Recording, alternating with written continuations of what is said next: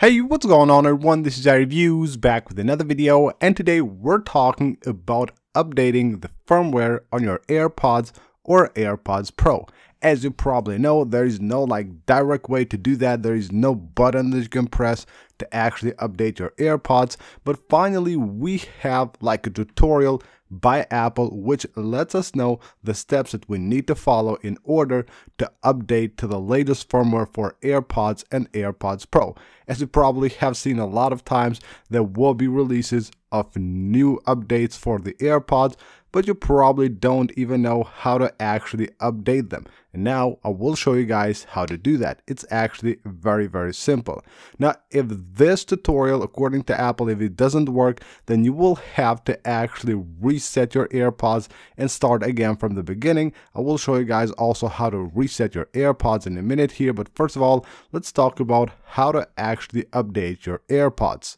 Now these steps that Apple has shown us, we used these even before, but I think the trick here is the amount of time that you need for the firmware to update on our AirPods. That's what probably has been going wrong all the time because most users would actually have a really, really hard time updating their AirPods. But let's just go ahead and first off, let me show you the first step. Now the first step, pretty simple. You need your AirPods to be in Bluetooth range with your iPhone, your iPad, or your Mac, whichever one you're using.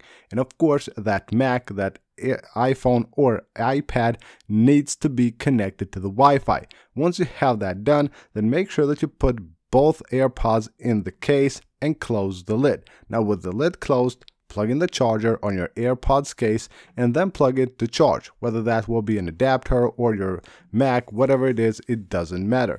Now once you have done that, you will have to leave your AirPods like that for at least 30 minutes.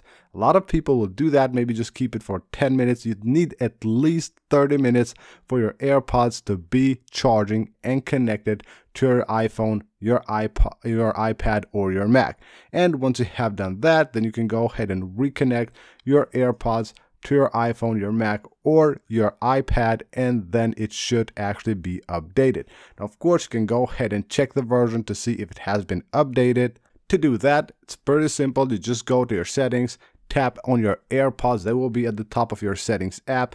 And then from here, you will be able to actually check the firmware on your AirPods. Just go ahead and go down here. They will have the version. You have the version for the case and the, the version right here for your AirPods. That's the version of the firmware that you have installed on your AirPods. Now, as I said at the beginning of the video, according to Apple, if this doesn't work, then you will need to reset your AirPods and try it again. Now here's how you can reset your AirPods. First of all, what you need to do is go to your iPhone and go to your Bluetooth section.